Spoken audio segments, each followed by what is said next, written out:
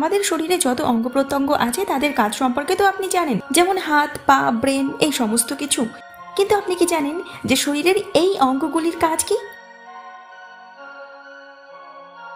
সবার প্রথমে রয়েছে আইব্রো। সাধারণত আইব্রোর সাহায্যে আমরা কি ভাবছি, সেগুলিকে আমরা এক্সপ্রেস করতে পারি। যেমন খুশি, রাগ বা কোনো বিষয় শক্ট হয়ে গেলে আমরা আইব্রোর সাহায্যে বোঝাতে পারি। কিন্তু এছাড়াও আইব্রোর আরও কাজ রয়েছে। সাধারণত আমাদের আইব্রোর শেপ এরকম হয়ে থাকে।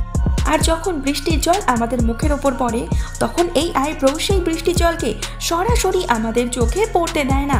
আর শুধুমাত্র বৃষ্টির জলই নয়, যখন আমরা ঘেমে যাই, তখন ঘামের জলও সরাসরি আমাদের চোখে পৌঁছায় না, বরং সাইড থেকে বেরিয়ে যায়। একই সঙ্গে যখন সূর্য মাথার ওপর থাকে, তখন সূর্যের তীব্র তাপ বা আলোর থেকে আমাদের চোখকে রক্ষা করে এই আইব্রো এবার রয়েছে ট্রাগাস। কানের এই যে অংশটি রয়েছে, তাকে ট্রাগাস বলা হয়। আর আমরা মনে করি যে কানের এই অংশটির কোনো কাজই নেই। কিন্তু এমনটা নয়, কানের এই অংশটি আমাদের ভীষণভাবে কাজে আসে। এই অংশটির সাহায্যেই আপনি বা আমি আমরা বুঝতে পারি যে আওয়াজ কোন দিক থেকে আসছে, সামনের দিক থেকে না পেছনের সাইড থেকে। কানের এই অংশটি অনেকটা স্পিড ব্রেকারের কাজ করে। মনে করুন কোনো একটি আওয়াজ স্পিডের সঙ্গে আসছে। আর কানের এই অংশটি সেই আওয়াজকে বাধা দেয় আর তারপর সেই আওয়াজ কানে পৌঁছায়। এরকম অবস্থাতে আমরা বুঝতে পারি যে আওয়াজ সরাসরি কানের সামনের দিক থেকে আসছে। আর যদি কোনো আওয়াজ সাইড থেকে আসে, তাহলে তা সরাসরি কানে পৌঁছে যায়। আর আমরা বুঝতে পারি যে এই আওয়াজটি সাইড থেকে আসছে। এরকমভাবে কানের এই অংশটি আমাদের বুঝিয়ে দেয় যে সঠিকভাবে কোন কর্নার থেকে আওয়াজ আমাদের কানে পৌঁছাচ্ছে। মোট কথা হলো এটা যে আমরা সর্বক্ষণ আওয়াজ সম্পর্কে কনফিউজড থাকতাম। এবার রয়েছে গ্লাভেলা দুটি আইব্রোর মাঝে এই যে খালি অংশটিকে আপনি দেখছেন, এই জায়গাটিকেই বলা হয় গ্লাভেলা। এই জায়গাটি আপনাকে অসাধারণভাবে সাহায্য করে আর সেটি জানলে আপনি অবাক হয়ে যাবেন। এই অংশটির সাহায্যে আপনি বুঝতে পারবেন যে আপনার শরীর সঠিকভাবে হাইড্রেটেড আছে না নেই। হাইড্রেটেড মানে হচ্ছে আপনার শরীরে জলের পরিমাণ সঠিক আছে না কম রয়েছে, সেটাই আপনি জানতে পারবেন। এই জায়গাটির মাধ্যমে যদি আপনি দুটি আইব্রোর মাঝে এই জায়গাটিকে অর্থাৎ গ্লাভেলাটিকে চাপেন আর দেখেন যে তখনই সেটি ঠিক হয়ে গেল, কোনো ভাঁজ পড়ল না, তাহলে আপনি বুঝে যাবেন যে আপনার শরীরে জলের পরিমাণ সঠিক রয়েছে। আর যদি আপনি দেখেন যে গ্লাভেলা ভাঁজ হয়ে আছে আর সেটি সঙ্গে সঙ্গে ঠিক হচ্ছে না, তখন আপনি মেনে নেবেন যে আপনার শরীরে জলের পরিমাণ কম রয়েছে, অর্থাৎ আপনার শরীর ডিহাইড্রেটেড হয়ে আছে। এবার রয়েছে পেলিকা সেমিলুনারিস, চোখের এই অংশটি। যে অংশটিকে দেখে আমরা মনে করি যে এই অংশটির বাস্তবেই কোনো কাজ নেই, কিন্তু এমনটা নয়। সাধারণত সারাদিনে আমাদের চোখে সূক্ষ্ম সূক্ষ্ম অনেক নোংরা চলে যায়, আর সেই নোংরাই রিয়ামের আকারে চোখের এই কর্নারে এসে জমা হয়।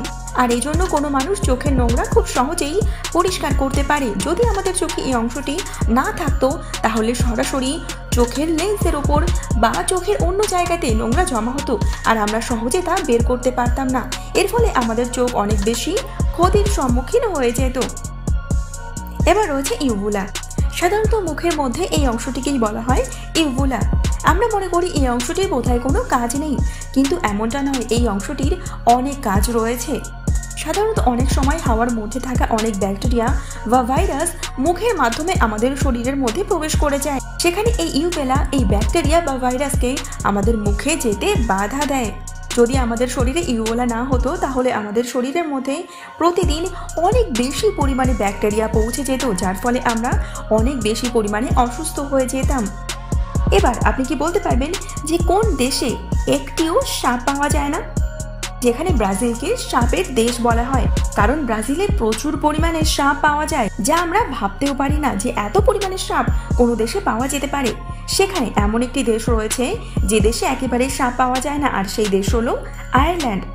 সায়েন্টিস্টরা মানে যে আয়ারল্যান্ডে এখনও পর্যন্ত কোনো দিন সাপ দেখা যায়নি, আর এটা বহু বছর ধরে চলে আসছে। অনেক মানুষ তো এটা মনে করে যে এখানে এত বেশি পরিমাণে ঠান্ডা থাকে, যে সাপ এখানে একেবারেই থাকে না। সাল দু হাজার ষোলোতে একটি অসাধারণ ঘটনা ঘটে। একটি ফিমেল টর্টয়েস, যে টর্টয়েসটি জঙ্গলে আগুন লেগে যাওয়ার জন্য তার শেল হারিয়ে ফেলে, অর্থাৎ তার শেল ক্ষতিগ্রস্ত হয়। আর আপনি চাইলে অবাক হবেন যে সায়েন্টিস্টরা তার শেলকে নতুনভাবে তৈরি করে দেয়, আর তা একেবারেই আসলের মতো। ব্রাজিলের কিছু স্পেশালিস্ট এই কাজটি করে। তারা প্রথমে সাদা কালারের শেল তৈরি করে, তারপর তারা বুঝতে পারে যে এই কালারটি টর্টয়েসের শেলের সঙ্গে সঠিকভাবে ম্যাচ করছে না। তখন তো তারা একজন স্পেশাল আর্টিস্ট এনে সেই শেলের ওপর সুন্দরভাবে আর্ট তৈরি করে দেয়। এরপর দেখতেই পাচ্ছেন যে সেই শেলটিকে হুবহু কচ্ছপের শেলের মতো মনে হচ্ছে।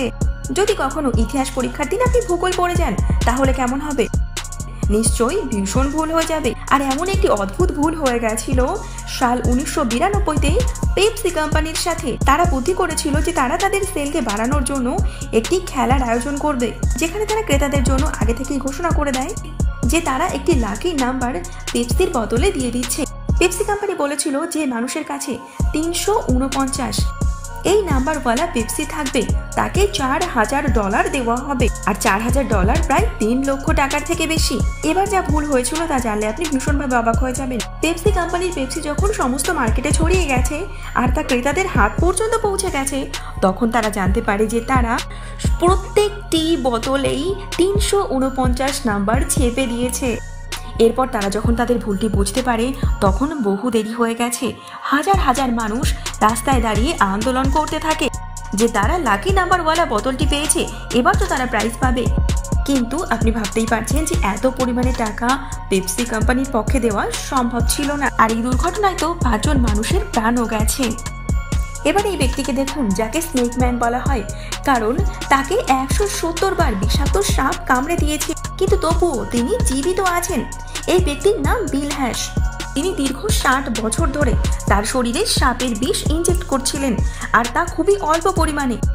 আর এইভাবে যখন তিনি সাপের বিষের পরিমাণ আস্তে আস্তে বাড়াতে থাকেন, তখন তার শরীর তো অটোমেটিকভাবে সাপের বিষের বিরুদ্ধে অ্যান্টিবডি তৈরি করে ফেলেছে। আর এর ফলে তাকে যখন বাস্তবেই সাপ কামড়ে দেয়, তখন তার শরীরে কোনো প্রভাব পড়ে না, কারণ তার শরীর অলরেডি অ্যান্টিবডি তৈরি করে রেখেছে।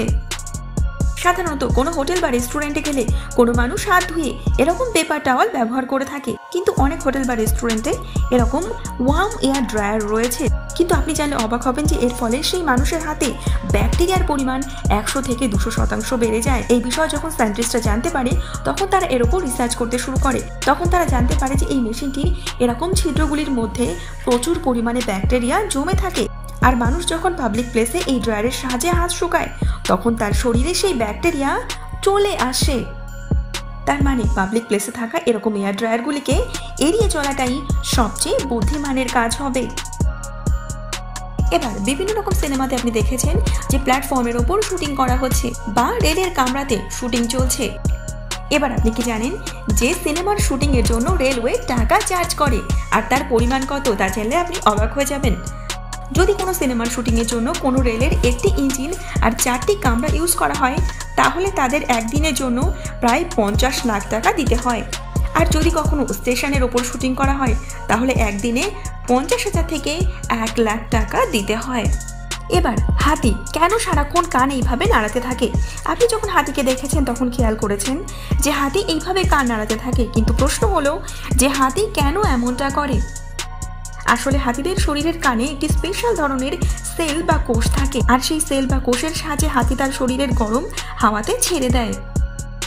আর এই জন্যই খেয়াল করে থাকবেন যে আফ্রিকার মতো গরম দেশগুলিতে হাতিদের কান বড় হয়, আর ঠান্ডা এলাকাতে হাতিদের কান অনেকটা ছোট হয়ে থাকে। তাহলে আজকের ভিডিওতে এই কয়টি বিষয় আপনাদের সঙ্গে শেয়ার করার ছিল। ভিডিওটি ভালো লাগলে অবশ্যই লাইকের মাধ্যমে জানাবেন।